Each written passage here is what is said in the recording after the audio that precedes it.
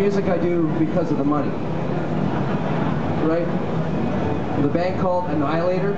Some people people don't even know the name. It's Annihilator, Annihilator, Annihilator, Anal Eater.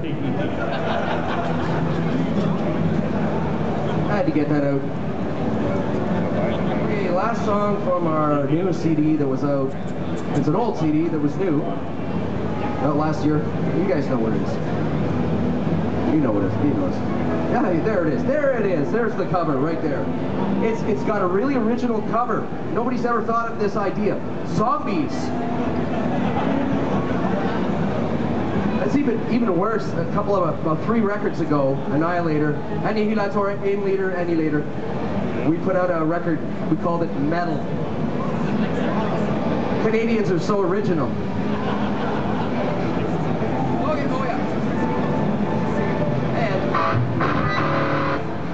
This song uh, should actually be played by James Hetfield or Jeff Hanneman, Kerry King, Gary Holt from Exodus. Because these guys can play for two hours really fast with their picking.